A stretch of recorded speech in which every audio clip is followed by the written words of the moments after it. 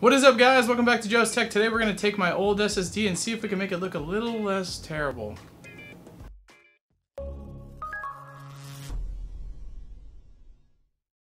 Alright guys, so if you haven't been following along, uh, I've been getting ready to do a move over of all my old hardware to this new case, and so in prepping for that I've kind of been doing some cable sleeving and uh, you know, doing some highlights on this case and some other videos that, uh, you know, kind of like ramping up to get ready for this move.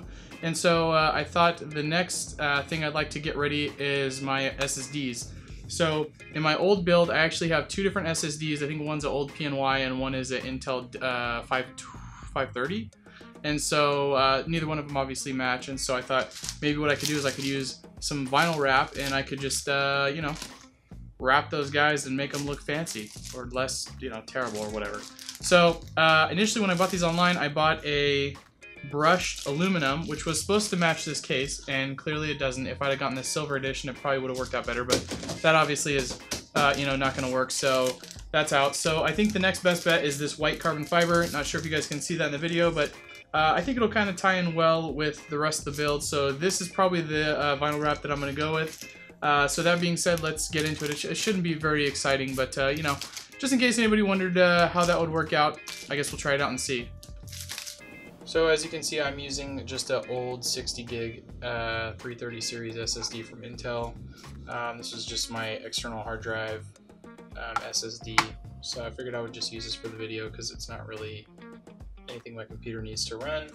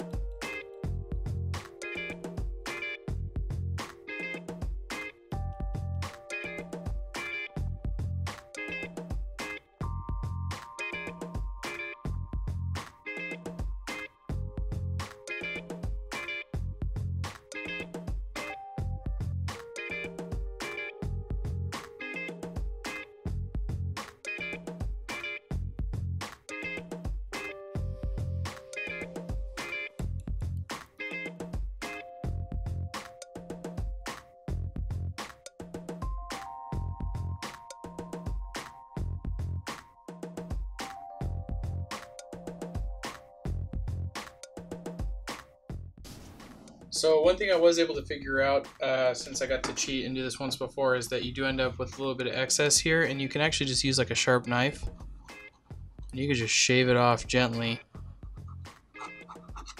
by working the edges. Just make sure you don't like gouge into the the drive case because then you'll just have a bunch of gouge marks. But if you just kind of slowly work the edge, it'll trim off all this excess.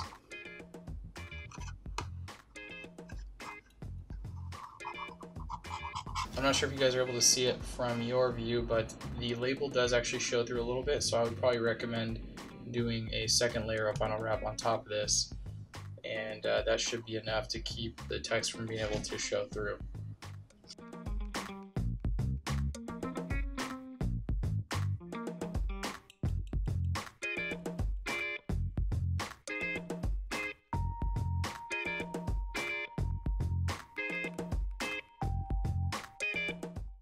Best part about this mod has got to be the price. Uh, obviously, in this case, I was hoping to keep the cost of this little migration project I have going on down.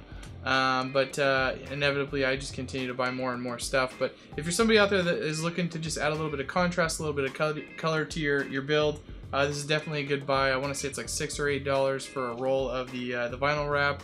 Um, the best part is, you know, if you wrap your hard drives only a couple times, uh, you're probably still going to have a ton of leftover material, which will leave you enough to maybe do some other components in your case, or maybe even part of your case, depending on what kind of case you have. Um, but I'll be sure to leave a link in the description below. If you guys are enjoying these videos, hopefully they're, they're helpful for you.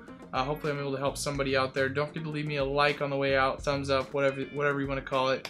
Uh, and uh, if you have any questions, feedback, concerns, any of it, feel free to leave a comment below. Obviously, if you're not subscribing yet, don't forget to hit that subscribe button.